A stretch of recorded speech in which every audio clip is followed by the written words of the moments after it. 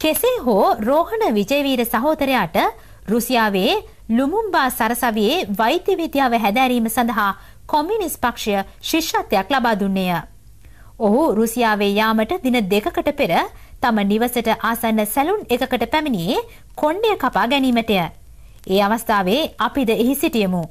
විජේවීරගේ කොණ්ඩය කැපූ සහෝදරයා කොණ්ඩය කපන අතරේම ඔහුගෙන් රුසියන් ගමන ගැන ප්‍රශ්න කළේය. මම රුසියාවට ගොස් දොස්තර කෙනෙකු වී තාත්තා සුව කරන්නට එනවායයි ඔහු කොණ්ඩය කැපූ සහෝදරයට කීවේය. එහෙත් ඔහු කීදේ ඉටු වූයේ නැත.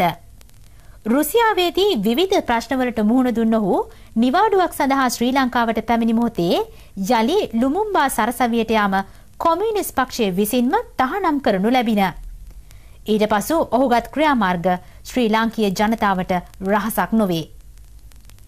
රෝහණ විජයවීර එක්දහස් නමසය හැත්තෑකේ සහ එක්දහස් නමසය අසූ නමේ ගනු ලැබූ ක්‍රියාමාර්ග සම්බන්ධයෙන් අපට ප්‍රශ්න එමට ඇත.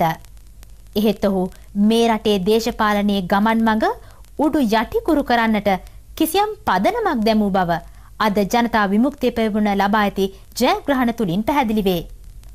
රෝහණ විජයවීර සහෝදරයා අපට අවසන් වරට හමුයේ කොළඹහත තුම්මුල්ලේ පවත්වාගෙන ගිය විශේෂ අපරාධ විමුක්ති කොමිෂන් සභා අධිකරණයේදීය.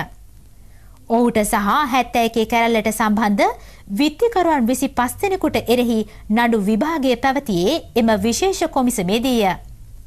විජයවීර නායකත්වය දුන් ජනතා විමුක්ති පෙරමුණ මේ රටේ දේශපාලන ක්‍රියාවලියේදී අනුගමනය කළ ක්‍රියාමාර්ගයන් ගැන විග්‍රහ කරන්නට අපි ඉදිරිපත් නොවෙමු. එහෙත් ඔහු මරා දමන්නට රණසිංහ ප්‍රේමදාසගේ රජයේ ආරක්ෂක ඇමති රංජන් විජයරත්න මහතා ක්‍රියා කළ ආකාරය අතිශයින් දුෂ්ට වූත් අකාරුණික වූත් ම්ලේච්ඡ වූත් ක්‍රියාවකි. සිරිමාවෝ බණ්ඩාරනායක මැතිනියගේ ආණ්ඩුවේත් රණසිංහ ප්‍රේමදාස මහතාගේ ආණ්ඩුවේත් වෙනස ප්‍රදර්ශනය වන්නේ රෝහණ විජයවීර සහෝදරයාගේ ඝාතනයයි.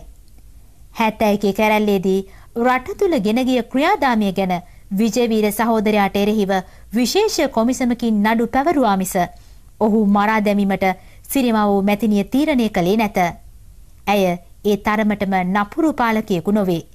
එහෙත් ප්‍රේමදාසගේ ආණ්ඩුව තමන්ට එරෙහිව නැගී සිටි තරුණයන් මරා දැමුයේ බල්ලන් බලලුන් මරා දමන්නාක් මෙනි. විජයවීර සහෝදරයාට ඇතුයේ එවැනිම ඉරණමකි.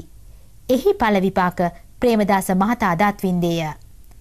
පිටපත මහින්ද අබේසුන්දර